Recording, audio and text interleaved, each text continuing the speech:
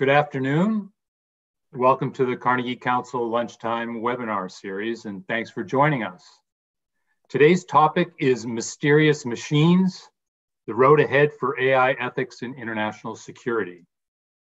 And our guest is our good friend, Carnegie Council Senior Fellow Arthur Holland Michel. Arthur, good to see you. Hi, Joel. Arthur's joining us from his home in Barcelona. In addition to his role as senior fellow at the council, Arthur is now associate researcher at the United Nations Institute for Disarmament Research, affectionately known as UNIDIR. And at UNIDIR, he's working on the uses of artificial intelligence in the design and implementation of security systems. Now, I've been lucky to know Arthur over many years. Um, first as a student at Bard College, and then as the co-founder and director of the Center for the Study of the Drone at Bard. His work at the center led to the publication of his recent book, Eyes in the Sky, which documents the origins of modern aerial surveillance. And today we want to talk about the growing capacities of artificial intelligence and how these new capabilities are affecting international and I guess today we'll talk about domestic security uh, as well, public security generally. We also want to talk about parallel developments in AI ethics and how ethical issues are helping to shape our understanding of security in an increasingly tech-driven environment. Now, before we turn over to Arthur, I just want to say a word about our format. Uh, the first half of the program will be a dialogue between Arthur and me, but the back half will be interactive. So I'm going to encourage you now uh, to use the chat function to pose questions as we go. And when we get to the second half hour, uh, Alex Woodson, our moderator, will read questions on behalf of the audience. So Arthur, I thought we'd start off with a you know, brief discussion of AI ethics. Um, there's been a lot happening um, in the past few years, uh, and we can have a general discussion about where we are now, uh, what's been accomplished and what needs to be done. Um, but you know, it seems that today, in particular, um, given these new technologies and their their uses, uh, particularly with the protests that we're seeing uh, all across the United States, and I understand even uh, overseas now, um, there's some particular applications that um, you know speak to your work uh, previously, and just to kick off the conversation, I wanted to start with a brief quote from you uh, at a previous uh, engagement that you had at Carnegie Council when we were talking about the uses of surveillance technology um, in, um, in terms of protests. And it, this is just a quick quote. Surely there were times in history when protesters, who have every right to do what they were doing, were referred to by authorities as thugs. And we should be very glad that those authorities did not, in every case, have access to technologies like this, meaning the surveillance technologies, that would allow them to act on those beliefs. We have controls in place for this very reason. So I wonder if you could just kind of pick up on that um, and to talk a little bit about sort of ethical principles in terms of how they govern the use of new technologies in the surveillance space and also then moving into the AI space. Sure. Thank you, Joel. And um, it's wonderful to be here and, and to be chatting with you again. And um, I'm, I'm, so glad that uh, I can be a part of the Carnegie Council to engage in the, precisely these types of discussions. Uh, over the last few days, I, have been spending a lot of time thinking about the, the present uh, situation and how it uh, relates um, to, to these topics. And um, there's a connection on, two planes. Um, the, the, quote that, that you read out, uh, it, I'm referring to a particular type of technology that can watch a very wide area uh, from the sky and um, track individuals. And what I realized was that this technology could be tremendously effective for, say, observing a, uh, a convening or a protest uh, or a demonstration, and then tracking individuals who participated back to their homes, people who previously had the a right to anonymity in the exercise of the First Amendment. Um, that anonymity can be very quickly uh, pulled away. And I particularly started thinking about that, that specific application of the technology because an individual who develops this technology, who I spent some time with while writing the book, told me over the course of conversations that he had actually flown his wide area aerial surveillance plane over uh, St. Louis, Missouri during the Michael Brown protests a few years ago. He said it was just for a test, sure. But he had also told me in separate conversations that he was uh, very much against the Black Lives Matter movement and had, and even in some cases, referred to the people participating in this movement as thugs. And when I asked him if he would pass the information that he had collected from this surveillance system onto the authorities if he saw something untoward, he said, yes, absolutely.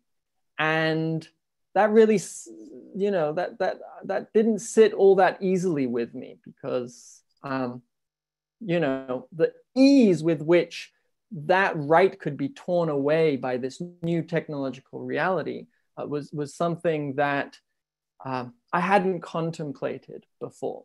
And so that's why I say there are two planes here. The first plane is that um, these movements are happening in a technological reality that is unprecedented in terms of the volume of data that can be collected and the ways that that data can be uh, processed. It can be um, compiled. So you don't just have one source of data, but you have many sources of data and you can piece together uh, the, the very detailed portraits of those you're observing from this information that is widely available. Um, there are technologies that we don't necessarily know all about. There isn't much transparency as to where they are uh, applied and employed. But what we do know is that the ease with which those rights can be intruded upon uh, is, is totally unprecedented. And so that's why I think it's really relevant to look at these things in the context of what's happening. But the second plane of thought that comes to me around what's going on is that this present situation shows to us just how profoundly far behind in the in the in the striving for equality we actually are that, that, that society remains profoundly unequal and unfair and that those inequalities are systemic and they can't just be sort of pasted over. And when these technologies emerge in the context of a systemically unequal society um, then all the more care is needed to ensure that abuses don't happen because these technologies, as I said in the, a few minutes ago, so easily lend themselves to those kinds of abuses. And because they raise real questions that are problematic precisely because of inequality. I think that a lot of the issues that we're going to be talking about over the course of this conversation, specifically with regards to AI, wouldn't necessarily be issues in a totally equal egalitarian society. But we see today and the last few days that we don't live in such a society. And that's precisely why we need to have this, um, this conversation. That's why this conversation is more urgent uh, than ever. Because if not, these technologies could perpetuate those inequalities. And that's the last thing we need just uh, I'm going to follow up just a little bit on that, and then I know you want to get to the broader um, area of just AI ethics and the principles that are being established. But just on this question of it goes to equality and inequality, but it goes more to just the question of power and who has it. Um, in this previous uh, engagement at Carnegie, you also mentioned that you, that you were able to um, to look at a um, Pentagon manual um, in terms of how they think about surveillance, the principles by which they're thinking about surveillance. Again, this is in the national security domain, but again, this is a, at the principle level. And the idea on this surveillance idea is not just to have the ability to watch, but to let the adversaries know that um, that as you said, but to give them the sense that we know even their intent so that they are always looking over their shoulder. The idea being that those who have the technology not only have the ability, but but you know the idea that that those that others know that they are being watched.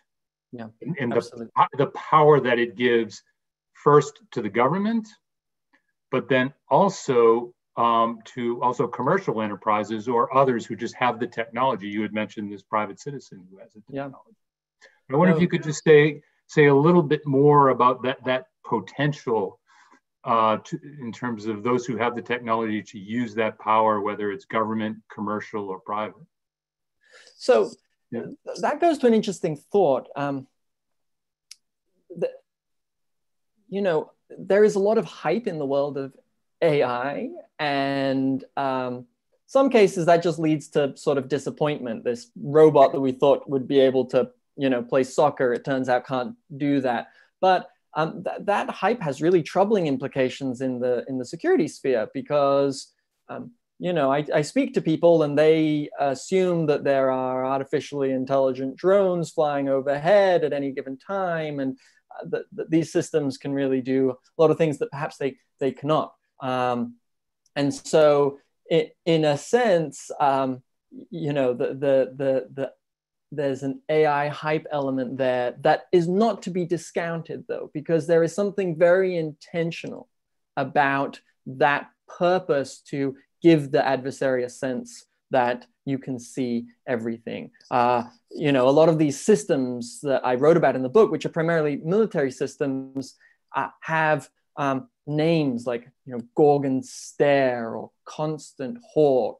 Um, and yes, as you mentioned, that is that was a military handbook. But as we are seeing all too clearly, there is a tendency for not only technologies but also techniques to creep back from the battlefield into the domestic space and to blur indeed the line between the domestic space and uh, and and the battlefield and uh, you know, an example of that is that the company that makes the Gorgon Stare surveillance system uh, unveiled a few years ago a civilian version for, for law enforcement that had pretty much the same capabilities.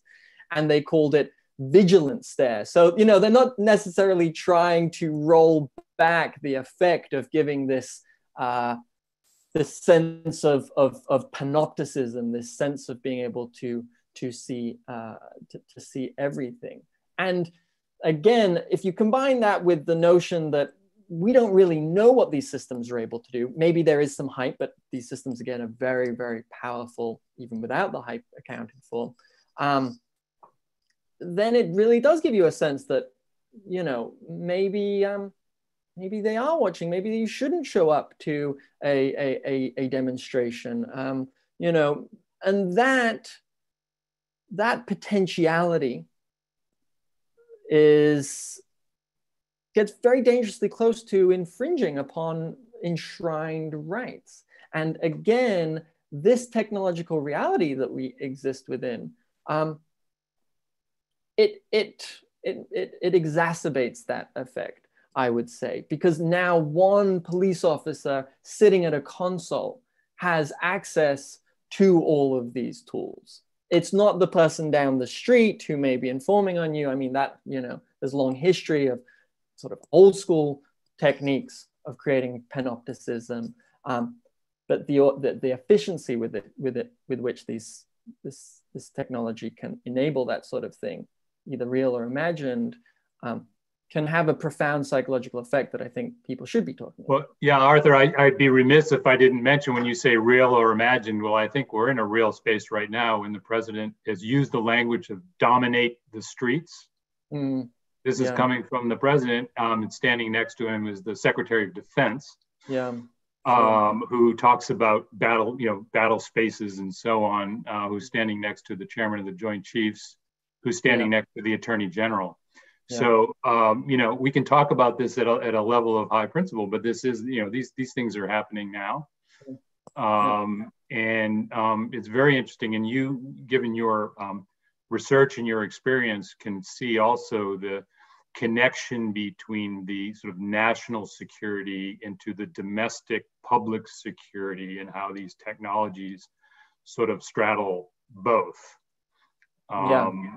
And I, I, wasn't intending to go there, but is, is, there something that we could share with the audience about that relationship? I guess that goes a little bit to the commercial enterprise as well, but you know how does it how does the how do you think about you know, sort of the development of these technologies they, i think many of them started in a national security realm but we're now seeing this sort of movement into public security in the domestic area yeah it's it's a very real pipeline yeah. It's a pipeline that is perhaps um, exacerbated by the fact that the kinds of battlefields that are predominant uh, and preeminent today, um, if you squint, are, are quite similar to the kinds of domestic environments where law mm-hmm. enforcement operates. That was not necessarily the case during the Cold War, when the types of battles that countries were by and large preparing for um, you know, involved tanks and maneuver and um, sort of uh, strategic level motions, whereas now you think about things like counterinsurgency and this blurred line, even in those theaters between policing and military action. Um, mm-hmm. And on the sort of technological side, there is the fact that there is less of a divide, specifically when you talk about software and surveillance, uh, between sort of what is possible and applicable in the military realm and what is possible and applicable in the in the civilian uh, realm. So, you know, uh, cameras operate the same whether they're operating abroad or or domestically. You uh, may want to analyze data in the same way uh, domestically as, as you might want to abroad. And, and the code uh, is, is very, you know, shares a lot in common. In, in fact, you may even be able to uh, take those same capabilities and just apply them in, in a new environment, which again is not something that necessarily uh, was always the case. Um, it's all the more the case, I think, when you are just talking about software or you're talking about the cloud. Um, right. And so, in that context, specifically, and all the more so in light of the way sometimes uh, domestic space is referred to in law enforcement in terms that very closely mirror the way the battle space has been referred to. Um, it, it, it's definitely um, grounds for pause and um, and this is nothing new. I mean, we've been seeing the growing sort of uh, this this expanding pipeline from the battle space to the civilian space for the last, you know, 20 years or, mm-hmm. or, or, or, more. And we're starting to see the culmination of that. But it, that process will probably get faster um, as the difference between those two spaces right. and the technologies themselves uh, diminishes. Right. Thank you, Arthur. I wanted to now sort of move into you know the sort of general conversation we were going to have about AI ethics and kind of where it is. So mm-hmm. maybe you could just say a little bit now, moving into AI specifically, about the ability of, of, of artificial systems and so on, uh, in terms of this uh, their ability to actually to sort of think and decide and to make decisions, and what mm-hmm. principles that we need to think about in terms of creating those systems and, and where we are now? Because I know there are many initiatives to, to begin to look at that. No, you're, you're, you're absolutely right. That um, the, the debate on AI is nothing new. Um, in fact, these debates have been going on for, for, for quite a long time in all sorts of different fora.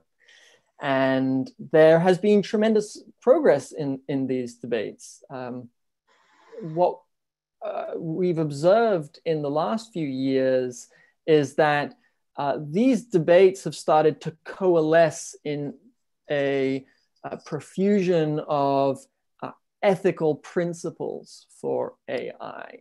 And that goes across the board among governments, private institutions, local, you know, city governments and municipalities, um, military entities. You know, it, it seems almost like every week that someone is announcing their AI principles. And um, I'm not going to go through all of the principles that, that uh, exist. I should also note that, um, you know, I specifically look at the international security realm. A lot of these principles are, are, are sort of broadly declared for AI in all kinds of verticals, you know, uh, loan decisions, uh, medical, uh, you know, systems and diagnostics, you name it.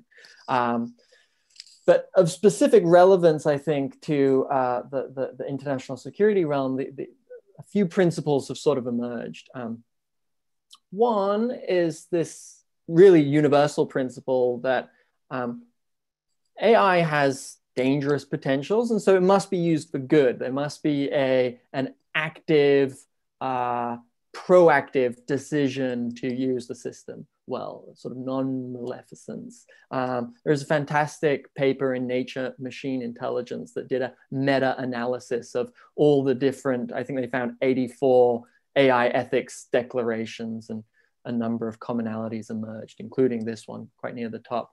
Um, there is also this principle of, of fairness and, and, and inclusivity. Uh, th this notion that AI systems shouldn't, and this goes to what we were talking about at the beginning of the discussion, shouldn't be embedded with bias or perpetuate bias. And, and, and that has come front and center as well. Um, people are starting to realize that AI systems can be vulnerable to attack. And uh, just beyond that, AI systems are going to become sort of like critical infrastructure. I mean, they're going to be doing important things. And so, in that regard, they have to be secure, they have to be robust, sort of like an you know, everyone agrees that an airplane, because it is vulnerable and can be, you know, attacked and is critical, uh, needs to be secure and robust. Um, there's also this sense that AI needs to be transparent and accountable, right? That those who operate the AI can't keep, shouldn't keep their methods and their data and their architectures secret from the people that the AI affects. And that's a particularly important one in the security realm because obviously there is a prerogative in the security space um, from the perspective of the operator to keep some of your techniques and architectures secret. Um, and finally, and, and, and this one is, is, is very important. Um, this notion that AIs are not humans, that, you know, the optimal outcome is the symbiosis, if you will, uh, the the co-working between a human and an artificial intelligence. That it's not just sending out the, the, these artificial intelligence systems to do whatever they may do uh, without regard for you know um, potential consequences. And crucially that humans will always be responsible for what ai does right? And and that's actually become almost enshrined as a principle in this very contentious debate in the international space around military AI systems, and in particular, the notion of a lethal autonomous weapon, a system that you know can uh, go out and identify targets on its own and engage those targets. And there seems to be a, a, a sort of mounting consensus that whatever the technology is, whatever it does, the buck always stops with the with the human. Um, so there, those are just a few. I think that's where we are at sort of now in terms of sort of these declarations that we've seen.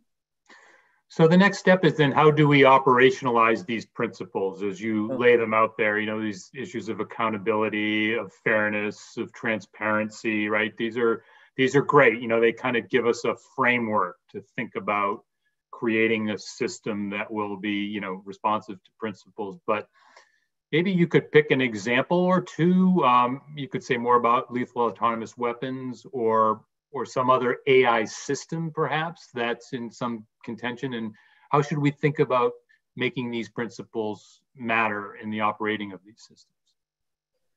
Sure. So, um, there's been a lot of focus on the idea of a fully autonomous lethal weapon system. Um, funnily enough, the debate uh, when it truly started uh, about 10 years ago about you know the, the ethic the ethics uh, morality and prudence of using such a machine. Um, we're looking way into the future at these like terminator like devices. And in fact a lot of the uh, you know the, the the the a lot of the media coverage of this debate um, you know the image at the top would always be an image from the terminator movies. Um, that has sort of rolled back in the last few years as people have realized that one that's very far away uh, as a technological sort of um, technologically feasible uh, prospect, and and two that there are um, sort of less ambitious forms of autonomy in the military space that could nevertheless be be problematic. Um, so. I, I am particularly interested in um, this notion of what I call lethality enabling autonomous weapons. So it's not the autonomous robotic drone that can identify targets and shoot at those targets. But it's an it's an assistant, if you will, that's operating next to the military operator, and it points to particular places, say on the battlefield, and says, "This is where the enemy is." And perhaps this is how you should take the enemy out. Or uh, if you do decide to use this particular missile, say, um, this is the likely effect. Um, and th- there are a whole range of uh, still troubling issues that need to be addressed in operationalizing those principles that I talked about in the context of that. Um,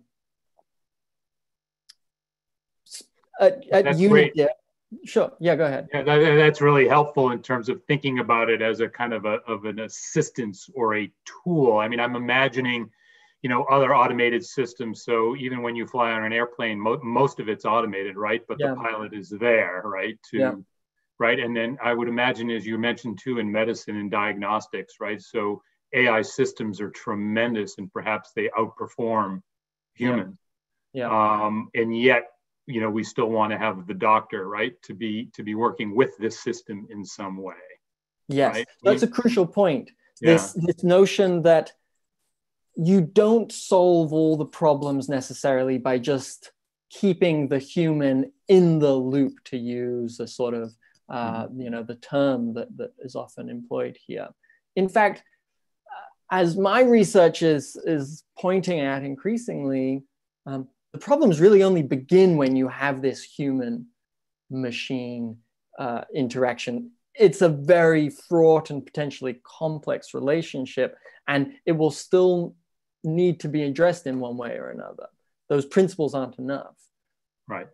So Arthur, we, we have a ton of questions that are rolling in, but I want to ask one more just so that we can fully get to the, you know, what AI is in its in its essence. And um, and I think that will help also just give us a fuller picture of the challenge of sort of thinking about it from an ethical dimension. And that you had mentioned prior, and when we set this up to talk a little bit about the black box dilemma. Yeah. And I yeah. wonder if you could just share a little bit of your thinking about that. And I just think that that helps to complete the picture in terms of what AI is and why yeah. it's so challenging to to sort of put into a moral or ethical frame. And then we'll go quickly to the questions. Sure. The, yeah. the black box, which I, I, should clarify because it's a little confusing. Uh, is essentially the opposite of a black box in an airplane, right? Which a black box in an airplane will tell you everything that happened in the airplane. When you uh, when you talk about a black box AI system, it's like there is a black box somewhere, but it's at the bottom of the sea and you're never going to find it. Um, people have started talking about this notion of a black box AI system and more broadly about the notion of explainability in AI. Um, why is that important? Well, as a feature, AI systems are unpredictable. Uh, you know, you want them to be able to observe an unstructured environment, if you will, and know how to negotiate it in a way that's maybe more effective or faster than a human. And as, as such, they, um, you know, we can't perfectly model how they are going to uh, behave. They are predictably unpredictable in a way. And they especially tend to do sometimes, in some cases, weird things at those sort of edge cases. You give an AI system a scenario that it's never encountered before, and it may not act the way a human would act in that scenario, which is, I don't know what to do here. The AI system might just barge ahead and do something that a human would think is irrational. So that's why you want AI systems to be understandable. You want them to be able to explain what they're doing um, so that the operator can know at any given time whether a system is behaving rationally or whether there is perhaps a problem with the data. And if that system doesn't give that insight into its operations, it's what's sometimes referred to as a black box AI system. AI has existed for a long time, but the AI that existed decades ago uh, was very transparent. It was rules based. If this happens, then I will do this. Uh, the, the kinds of systems that are gaining favor today are much more complex. They're probabilistic. You give them a data set, you tell it what you're looking for in that data set or what you want it to look for, and it will run that through a very complex probabilistic process that is very difficult even for a, a, scientist who works in this stuff to explain. Um, so now the challenge is how to make systems that are either not that, not a black box, or systems that can explain themselves in some way. And it's a huge challenge because what counts as explainable to me might not be the same thing as what is explainable to you. Um, it will also depend on the application. Um, if you're talking, for example, about a law enforcement application, you probably want the system to be very explainable because there are very, very high stakes there. But the person operating that system probably doesn't have a PhD in electrical engineering.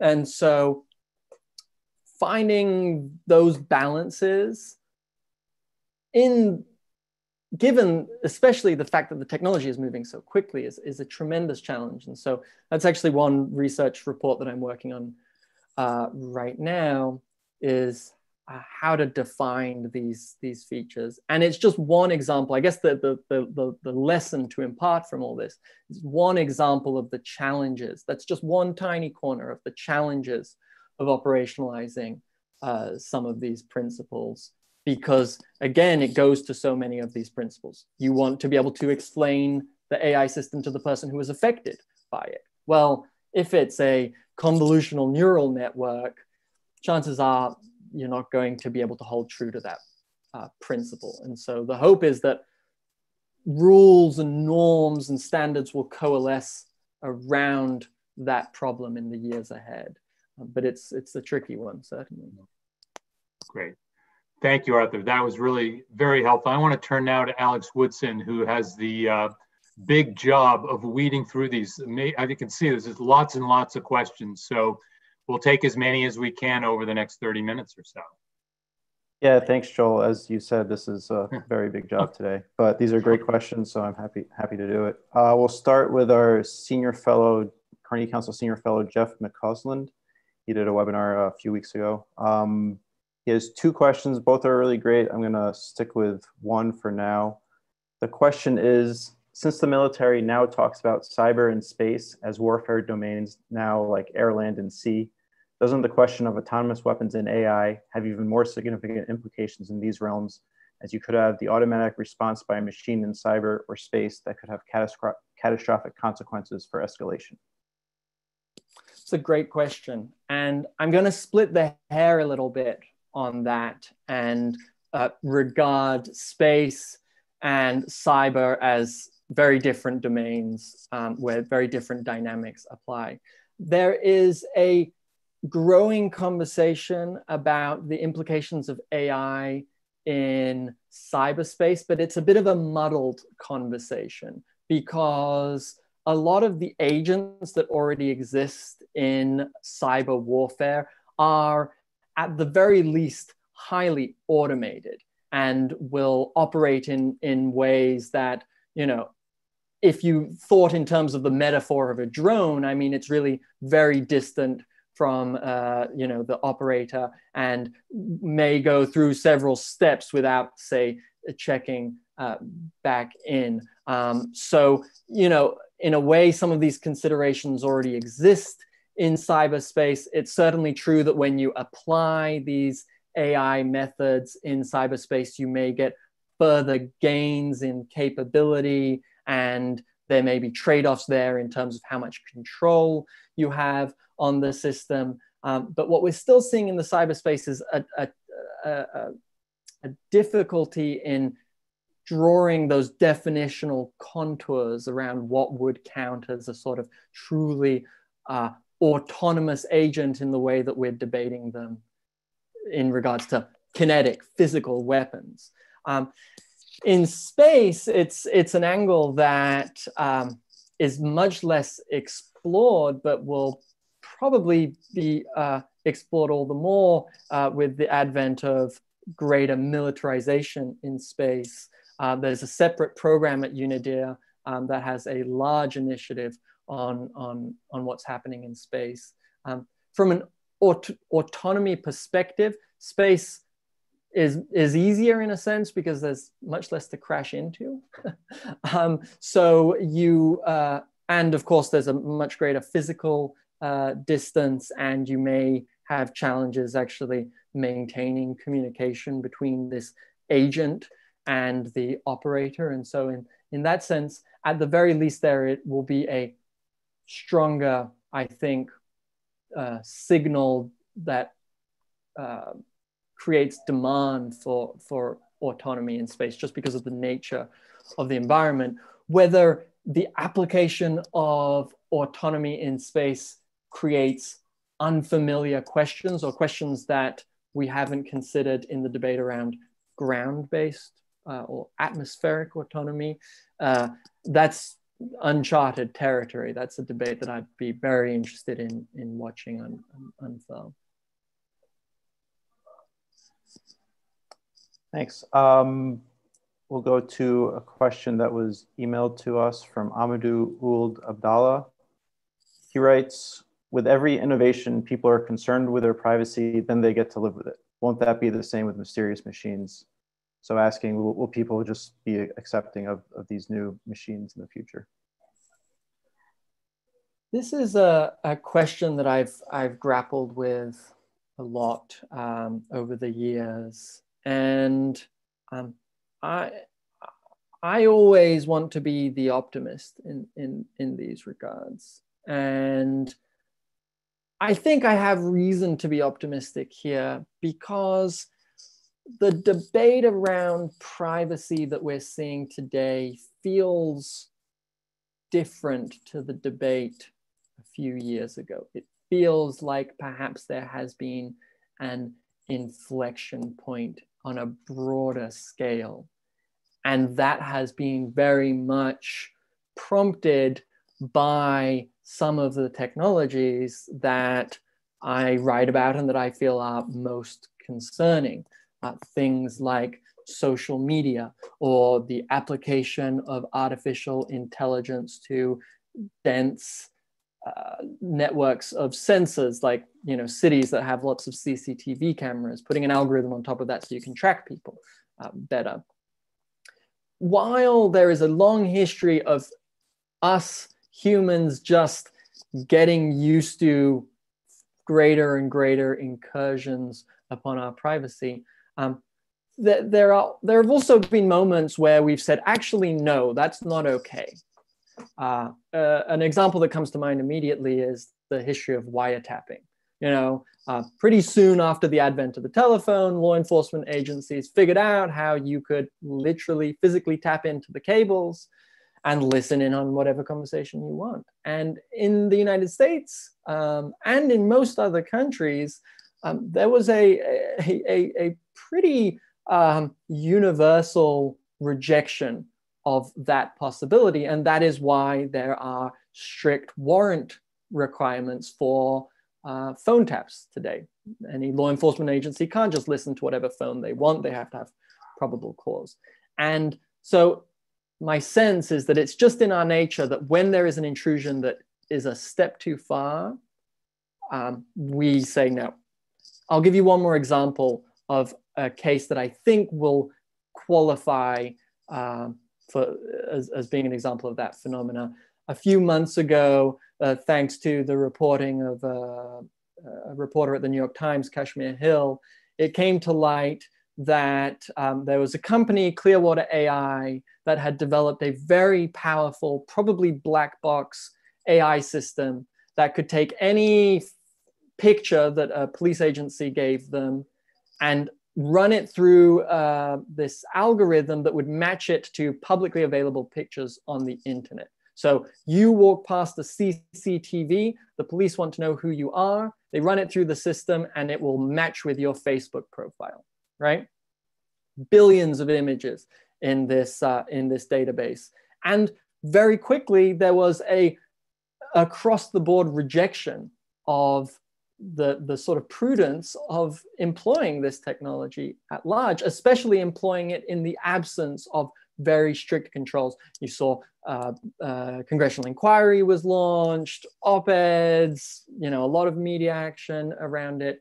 And so that again felt like a case where people said, actually, no, we get that there have been all sorts of intrusions on our privacy and it's not really cool, but you know, trawling the internet for billions of pictures to match to these images that police can get without any warrant requirement, maybe one bridge uh, too far. All of that is to say, I have reason to be optimistic.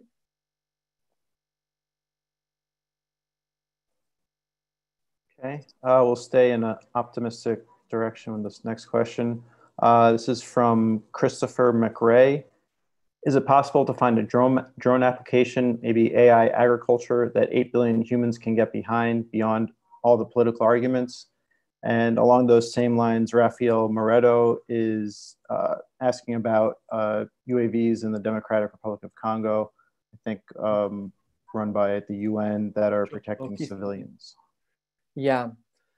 So um, there are applications of drones and all of the technologies that we've talked about uh, today so far um, that I feel like everyone can get behind and that um, perhaps wouldn't require a really rigorous application of the you know minutia of ethically driven standards and regulations just because we all want this thing to happen.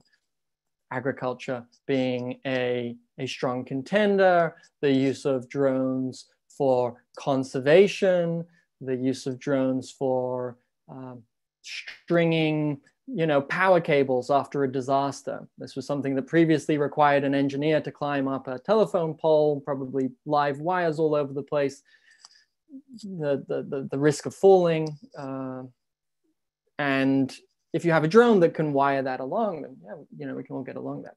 This has been a particularly uh, pronounced uh, phenomenon in the context of the, the, uh, the, the, the COVID-19 pandemic. And I'm, I'm amazed that we've gone 45 minutes without mentioning it, um, that it was bound to come up, uh, is that um, very early in the pandemic, there were a lot of discussions about how can we use AI to address this issue? How can we use drones to address this issue?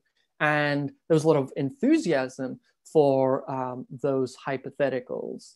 And to be sure, I mean, this pandemic has been a terrible thing, and anything that can uh, give us avenues to um, flatten the curve or to, um, you know, make sure this ends sooner rather than later are worth exploring. But two things there. One is that the unconsidered use of technologies um, in applications that are really untested um, always carries risks. There is a reason that in critical applications we have really thorough standards, and it just can't be any cowboy who wants to build a new airplane and fly it in the sky. Um, so if it's a, you know, maybe it works great, but if it's a new application, there has to be testing, there has to be a level of control because we just don't know what will happen.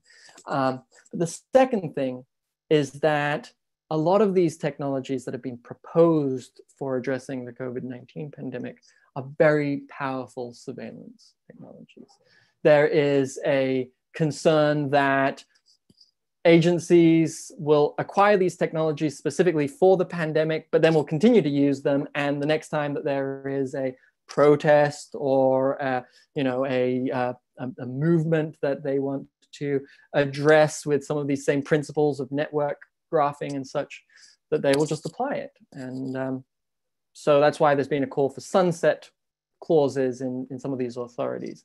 But, and this was something that Alex and I spoke about in, in a previous conversation. Um, there's also this, this potential concern around the normalization of these technologies, you know, that it, it gets used in a really beneficial public health capacity that we can all get behind. And that somehow by virtue of you know the the, the virtue of the, the application itself leads to applications that really we can't all get behind. It leads to perhaps a public acceptance that really requires more scrutiny than it's being given. But what's left in our minds is, oh, those drones were really great for addressing the COVID-19 pandemic. Um, so there's there's got to be a lot of caution on all of those fronts. So bottom line is, yes, there are applications that we can all get behind, but it has to be a very considered process of getting behind these applications.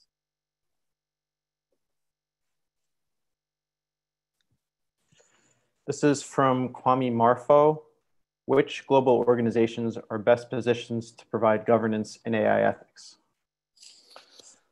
That's that's a question that I I, I wouldn't be able to to answer. I mean, um, you know, one thing that has emerged very clearly um, from the debate so far, and particularly in early efforts to operationalize AI ethics, is that AI is not one thing.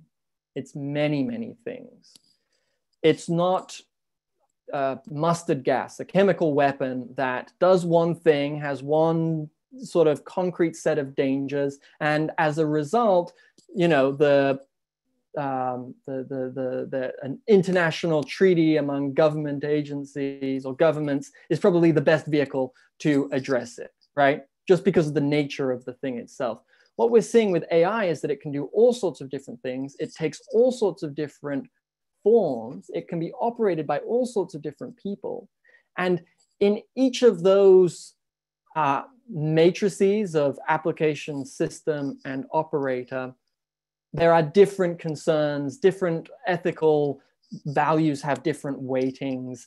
And so there needs to be a more tailored approach. So my answer would probably be that actually there isn't one organization that's best placed, that, that, that this needs to be a sort of universal and collaborative uh, process of addressing the very many incarnations of AI. Because if you try and just create one standard of explainability for AI systems, um, you, you may be doomed to fail because there are different needs in different sectors.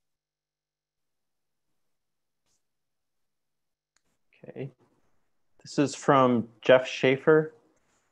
Regarding the lethality enabling systems, it would be great to hear a bit more about the unique problems that stem from that symbiotic relationship. As an example, one thing that comes to mind is a scenario where the AI system is recommending targets with such rapidity in a kinetic battlefield situation that the human operator may, may not be able to provide any meaningful sort of control or decision-making guidance to counteract potentially dangerous choices by the system itself. This strikes me as akin to the problem of choice architecture on steroids. So that's a, a, a fantastic uh, question from from from Jeff, and that is I couldn't have said it better myself. That uh, that there is one um, significant issue. It overlaps with uh, another issue around these kinds of systems, these symbiotic systems or human machine systems, um, which is this question of trust.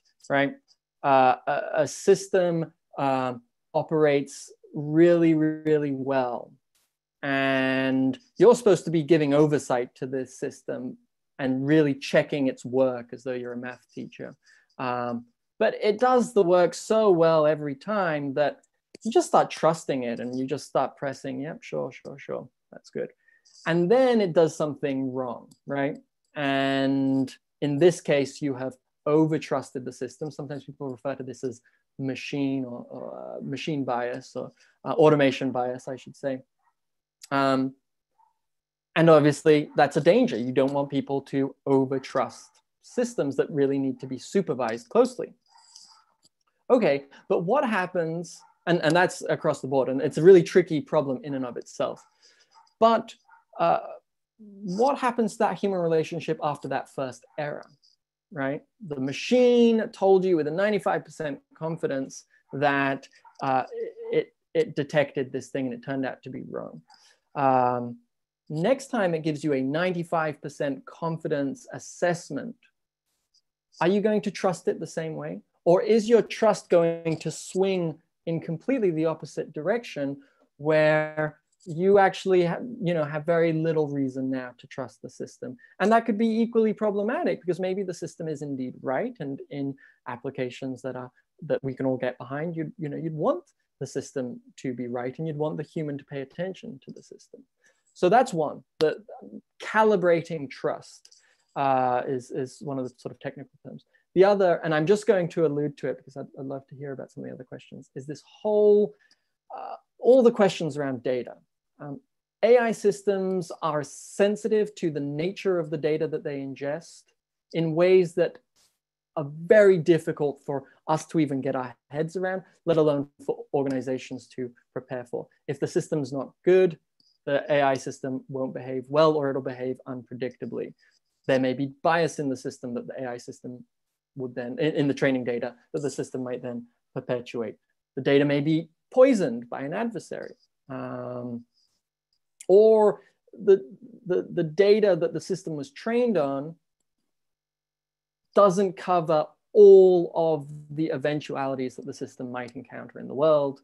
And then the system again might behave unusually. So data is another one, and it goes very much to this human machine uh, relationship particularly in situations as Jeff mentioned, where there isn't time to go back to the data itself. Um, this question that's probably on a lot of people's minds with the protests con, uh, combining with the pandemic. Uh, Amar Adia asks, is it technologically possible to track down faceless people in black? I guess meaning people wearing masks.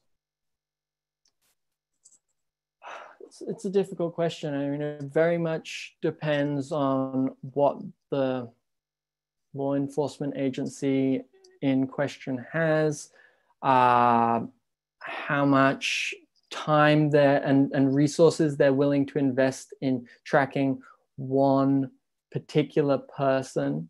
Um, if you want to track one particular person, uh, well, one, you can get humans to do that. Um, and it would be relatively easy if a little time consuming assuming that you have lots of cameras uh, in the city um, if you want to do that at scale that becomes a vastly more complex challenge requiring much more sophisticated technology probably drawing from other data sets. There has been some discussion about how commercially available cell phone location data from protests can be purchased and that that might uh, give you know those who purchase it including potentially law enforcement agencies a good sense of where people uh, live. But those are very initial reports it's a very powerful form of data very intrusive and highly unregulated um, that we should definitely be looking at because if there is that kind of tracking of, of as you say, sort of faceless individuals, that might be one of the techniques that um, could be put to that. Um, so it really depends is the answer. Uh, I think maybe time for one more question. Uh, this is from Dom McGuire. Uh, on the fifth principle that humans are ultimately responsible What are your thoughts on advanced general intelligence in, say, 30 years, which may be behaviorally, behaviorally equivalent to humans and may be deserving of some form of moral standing so they could be responsible for their own actions? I raise this as AGI could be more powerful and capable than humans in the future and maybe more ethical in their actions than humans. I'm going to give a very quick answer to that question, so maybe we have time to get to one more, which is we've been talking about artificial general intelligence for many years it seems like it is still very, very, very far off. It is a fascinating philosophical discussion that I do not have the answers to, but that the good news is we'll probably have plenty of time to debate until we actually have to contend with, with that reality. So we need to start spinning the wheels there, but we have some time, and I think we should take that time because it is a very loaded question. So probably the last question from Lee Antoinette Chua. Are there any debates or existing discussions on how mysterious machines will affect and take effect on existing international humanitarian law? What are your primary thoughts or insights on this? So um, yes, there is a, a whole process ongoing at the UN, which I'm uh, directly uh, supporting through my work, um, of debating exactly that question. And the fundamental question is look, we have these existing, in many cases, very robust laws to govern uh, the conduct of militaries in war, right? These rules have existed for a long time. Are those rules enough to simply govern AI as well? Or does AI require new fit for purpose rules. Um, even if uh, you um, you go with the, the, the, the, sort of former option that those rules are enough to govern AI, um, there is consensus in within this group of experts that's debating this at the UN level um, that there's still going to be a process of operationalizing the adherence to international humanitarian law in the application of some of these advanced autonomous systems. So even if you do not have to reinvent the wheel and create totally new rules, there will still be a process of fitting those rules to these new technologies, which is a very natural process for many new technologies that have emerged over the years. But I highly encourage you to uh, look at the work of the, it's the CCW GGE on lethal autonomous weapons, and you'll find a ton of resources on what that debate has looked like so far and what it will look like in the, the next two years. Arthur, that was uh, terrific. Uh, it was a really fast hour. I hope we'll have a chance to uh, continue this conversation at a future webinar or even better at an in-person meeting. Um, your work is evidence, um, really specific evidence that ethics matter um, everything that you pointed to is the uh, importance of establishing principles to help in the governance regulation, the uses of these technologies. It's a vast topic. You've given us a lot to think about and a lot to follow up on. And I just want to thank you for that. Um, I also just want to remind the audience that we do record these webinars, so they'll be available on the Carnegie Council website and also on our YouTube channel. And uh, we'll be doing more events in the future. And our next uh, program will be next week at a special time. We'll be convening on Tuesday evening, June 9, uh, so that I can speak with our guest who's in Australia. It will be Wednesday, June 10th for him. Uh, this is Christian Barry, uh, who's at Australian National University in Canberra. And we're going to be discussing his new article, which is posted on our website called Justifying Lockdown. So I hope that many of you can join us uh, for that event and for our future events. We'll be trying to do at least one a week uh, into the foreseeable future. So thank you again, Arthur. Thank you to everybody watching and listening, and uh, we'll see you next week. Thanks so much, Joe. Thank you.